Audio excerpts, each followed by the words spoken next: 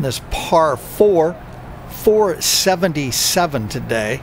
We got some length out here. Let's go. Oh, Jesus. What was that thing? All the way across the green. Oh, 32 and then do that? Hello.